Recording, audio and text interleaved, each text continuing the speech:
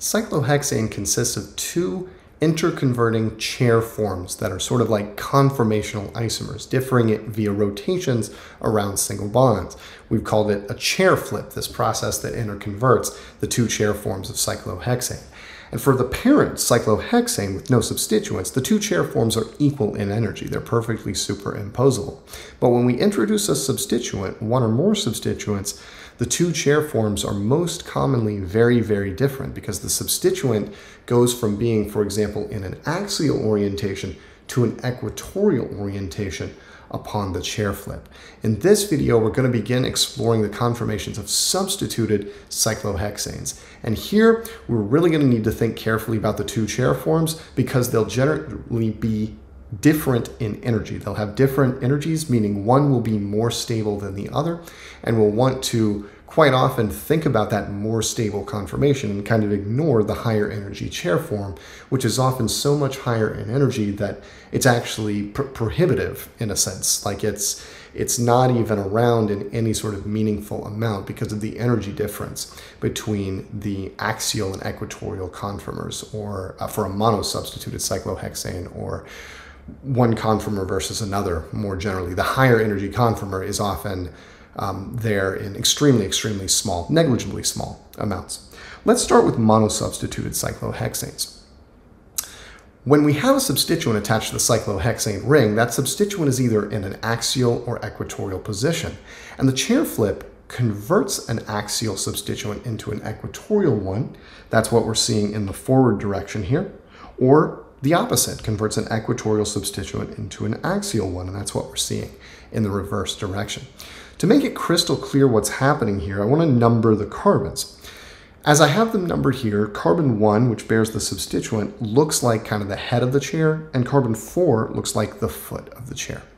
After the flip, carbon 1 becomes the foot and carbon 4 becomes the head, and all the other carbons also flip. So you'll notice, for instance, that carbon 5 goes from pointing upward to pointing downward, and carbon 6 goes from pointing downward to pointing upward after the flip. So after these kinds of motions leading to the flipped form, we end up with a structure that looks like this, where the X group attached to carbon 1 is now in an equatorial position, and that carbon 1 is kind of pointed down, that's the foot of the chair now, and carbon 4 is pointed up. And something similar is happening at the other carbons in the cyclohexane ring. All the carbons flip from pointed up to pointed down is one way to think about this, or, or pointed down to pointed up. So we've previously seen that this process of flipping the ring is called a, a ring flip or a chair flip since it flips one chair form into another chair form.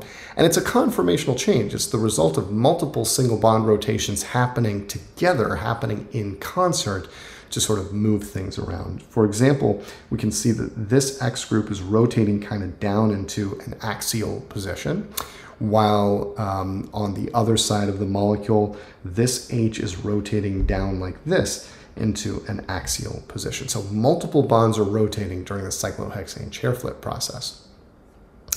What we're going to do first is practice drawing the two chair forms of monosubstituted cyclohexanes, noting this difference between axial and equatorial orientations of the substituent in the two chair forms. And then we're going to dig into which of the two is more stable and why, drawing on ideas about strain actually that we've already seen in conformational analyses of acyclic alkanes like butane. Terms like gauche, eclipse, staggered, these are going to come into play when we're looking at axial versus equatorial substituents. And steric strain in particular is another term that we're going to see. For the time being, though, let's practice drawing the chair conformers of a monosubstituted cyclohexane, such as bromocyclohexane here. Bromocyclohexane has one substituent, the bromine substituent. Now, it does not matter where you place this substituent on the cyclohexane ring. My eye is, for whatever reason, always drawn to this particular position in the sort of rightward leaning chair, um, just because it's on the far right of the molecule. It's relatively easy to see. And I think it's helpful to start to draw both the axial and equatorial sort of sticks at that position, and then decide where to put the bromine. And here again, for a monosubstituted cyclohexane, it doesn't matter where you put the bromine. You could put the bromine up or down. Notice there's no three-dimensional information. in this structure. This is because this is an achiral molecule. It does not matter whether you put the bromine up or down. You get the same structure regardless, the same compound regardless, I should say. So just for kicks and gigs, let's put the bromine up in an axial position in this first chair conformer. That's going to put an implied hydrogen, there is an implied hydrogen here, notice, in the equatorial position.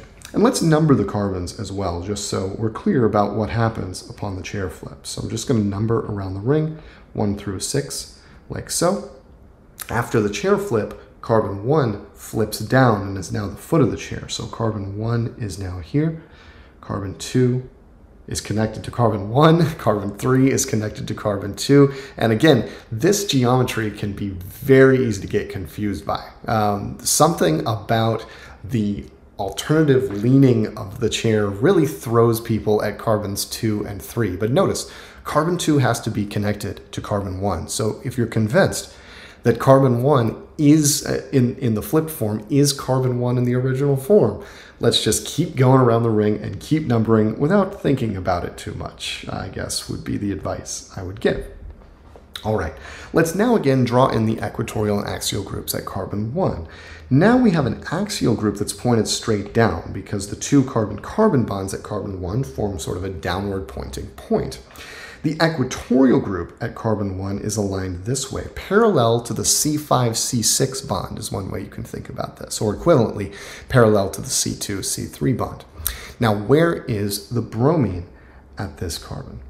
Well, it was up in the original structure, and what the chair flip did was move it down, but not all the way down to the downward pointing axial position. It moved it to an equatorial position right here. It moved it to the equatorial position at carbon 1, and now the H that was equatorial in the original chair form is now axial.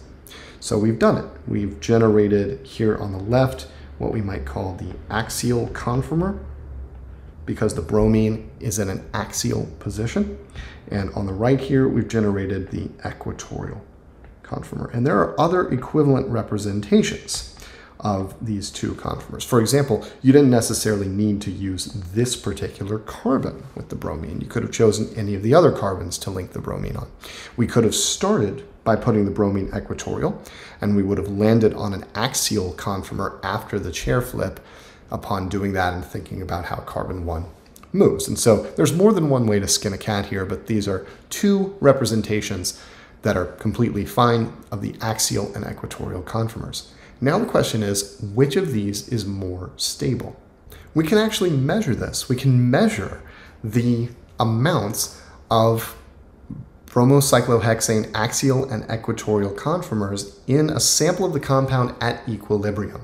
And the image here shows methyl cyclohexane, I'm realizing, but the same idea applies to bromocyclohexane and pretty much any monosubstituted cyclohexane is present almost entirely in its equatorial form. For very small substituents, you may get non-negligible amounts of the axial conformer, but for even a moderately sized substituent like methyl or bromine, we've got almost entirely the equatorial conformation at equilibrium. The upshot here is that the equatorial conformation, the conformation, the chair form with the substituent in an equatorial position is more stable than the chair form with the substituent in an axial position. Why is this? Primarily it's because of strains in the axial conformer. And there are two categories of strains that come into play in the axial conformer. One is a steric strain known as a 1-3 diaxial interaction. It's actually reminiscent of the flagpole interactions in the boat conformer, but it's occurring between hydrogens or substituents in a 1-3 relationship. So here we have, for example, carbon 1, carbon 2, carbon 3. The H at carbon 3 bumps into the substituent at carbon 1. And this steric bumping or steric repulsion between these axial groups that are two carbons away from each other is known as a 1-3 diaxial interaction. There's also a problem with a gauche interaction of the axial substituent with one of the carbon-carbon bonds in the ring. The axial substituent is gauche to a ring C-C bond. For example, if we take a look at this Newman projection, we can see that the bonds highlighted in red are gauche to each other. There's a 60 degree dihedral angle there. So when x is relatively large, there's going to be an energetic penalty there. And even when x is not very large, we're going to have some energetic penalty associated with that gauche alignment of the CX and CC bonds. Funnily enough, if we change the positions of x and h, or we flip the chair to move x into an equatorial position, we have eliminated this gauche interaction and eliminated the 1,3 diaxial interactions because now X is very far from those axial CH bonds that were causing problems previously. And so the equatorial conformer is quite a bit more stable than the axial conformer. It's, it's lacking these sources of strains. It's lacking the gauche interaction due to the 60 degree dihedral angle, and it's lacking 1,3 diaxial interactions. And this is a highly, highly general result. Regardless of the substituent, the equatorial conformer is more stable than the axial conformer for a monosubstituted cyclohexane. Now, that said, the extent to which the equatorial conformer predominates over the axial conformer depends on the size of the substituent and the energy difference between the axial and equatorial conformers. Generally, the larger the substituent, the greater the energy difference between the axial and equatorial conformers. And this is the trend we see if we look at this table, which plots the so-called A value, we'll come back to what that means in a second, as a function of substituent. And we also get the equatorial to axial ratio. And so you can see, for example, as we go from methyl to ethyl to tert butyl, we are increasing the size of the substituent dramatically, and the predominance of the equatorial conformer goes up dramatically from 95 to 5 to 95 to 5 to 99.9 to 0.1 for the tert butyl group. Over 99% equatorial conformer in the case of that very bulky group. Now, this so-called A value is just the energy difference between the free energy difference between the axial and equatorial conformers. So there's some delta G naught associated with this conformational change. This will not be equal to zero because the conformers are diastereomeric, essentially. They're not the same energy.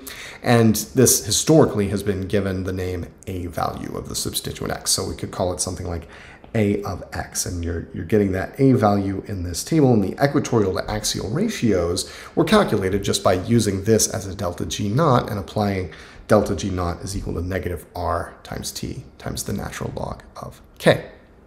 So this gives us the general idea that the larger the substituent, the greater the energy difference between axial and equatorial conformers, and the more the equatorial conformer predominates over the axial one.